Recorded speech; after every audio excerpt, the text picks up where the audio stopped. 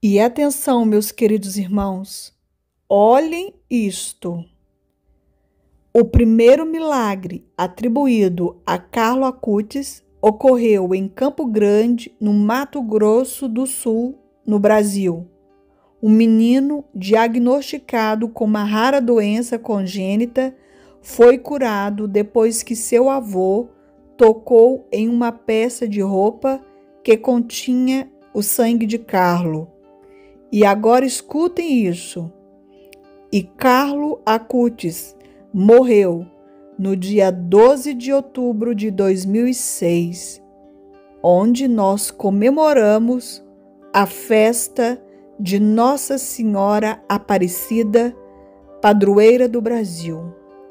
Eu não acho, queridos irmãos, que isto aqui é coincidência, isto é providência o primeiro milagre foi relacionado a um menino no Brasil e ele morre exatamente no dia 12 de outubro, festa da nossa padroeira.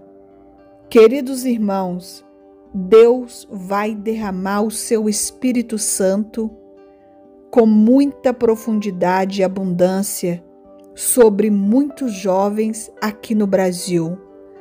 Pais, mães, não parem de rezar o Santo Terço e pedir a Nossa Senhora pela santificação dos seus filhos. Não desista.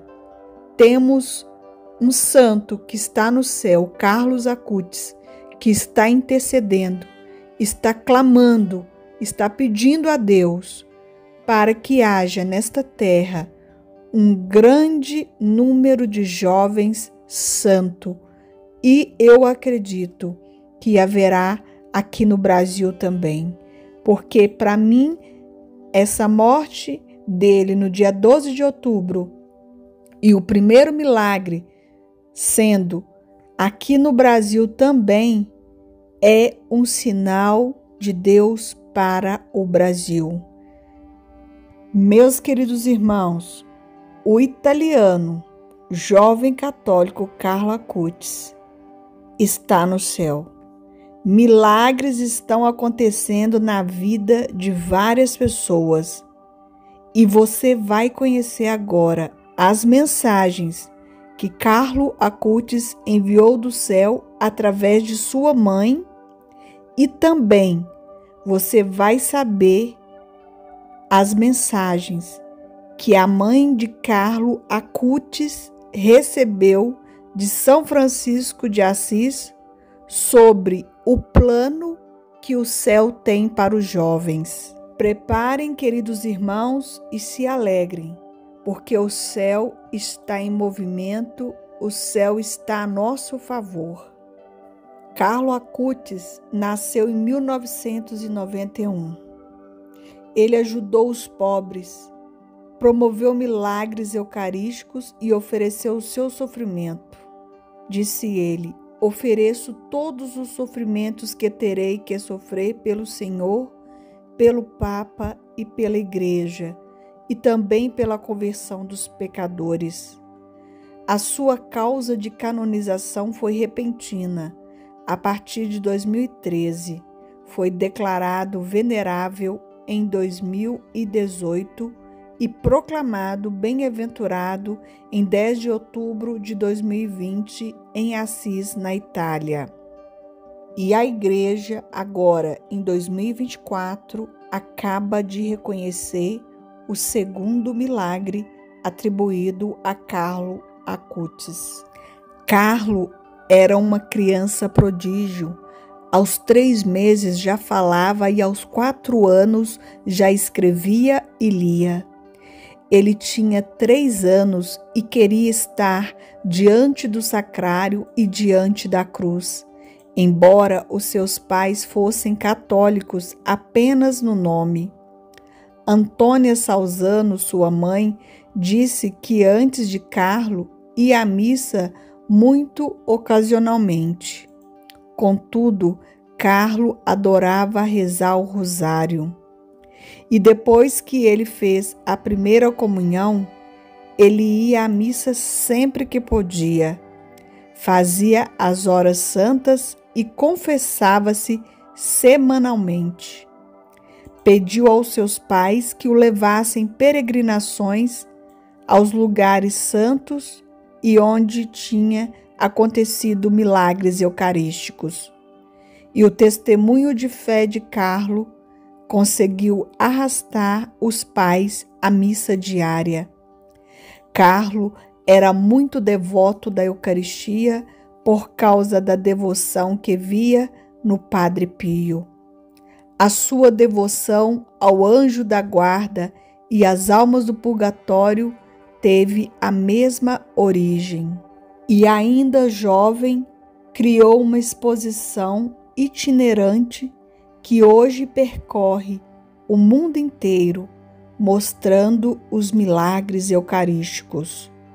Nos últimos dias da sua vida terrena, a sua mãe sugeriu-lhe que pedisse a Jesus que realizasse milagres eucarísticos semelhantes ao de Lanciano, para que a presença de Jesus na hóstia consagrada fosse evidente para todos.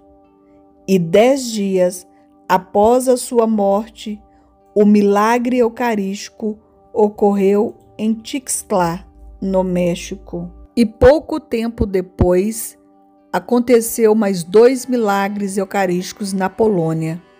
Os estudos mostraram que a hóstia consagrada foi transformada em tecido cardíaco humano nos três casos.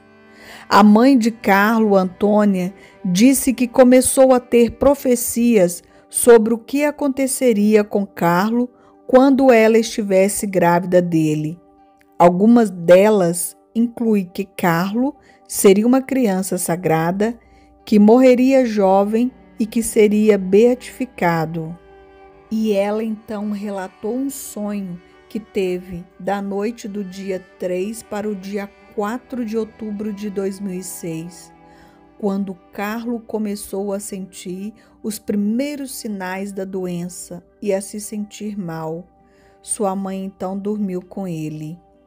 Naquela noite, ela sonhou que estava na igreja com São Francisco de Assis e, ao olhar para o teto, percebeu a imagem do filho. Ela viu Carlo vestido de branco e com uma auréola na cabeça.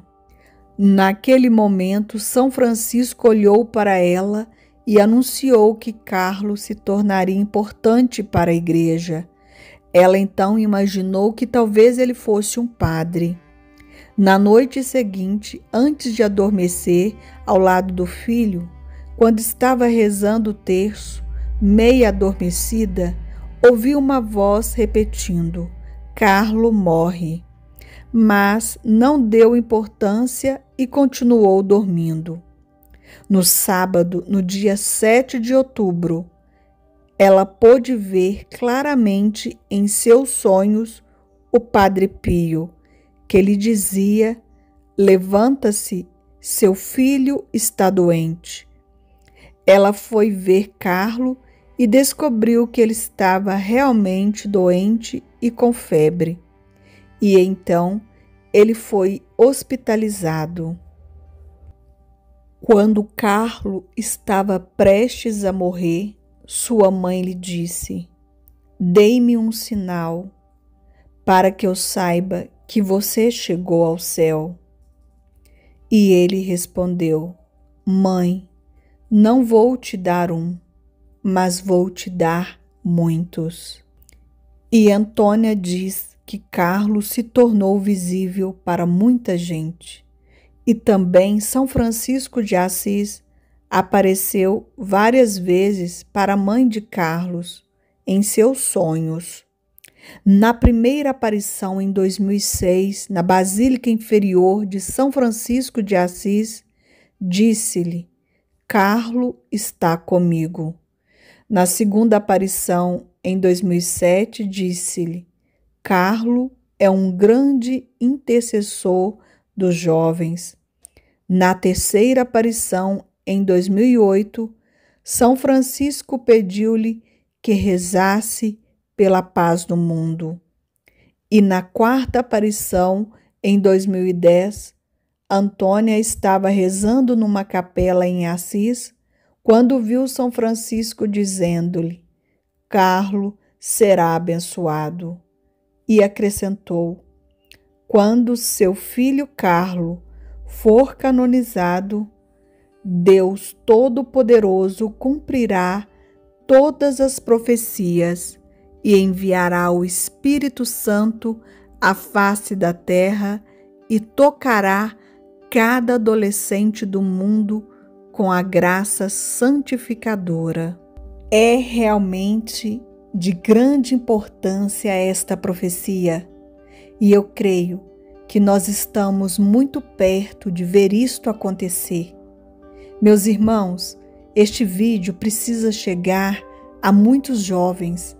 A ligação de Carlo Acutis com o Brasil é muito grande e é de grande importância que nós tenhamos no nosso país jovens santos, jovens que amam a sua fé católica, que amam Nossa Senhora e que vai ser o futuro desta nação vai fazer com que Jesus seja glorificado e irão rezar muito para que aconteça, ainda na nossa geração, o triunfo do Imaculado Coração de Maria.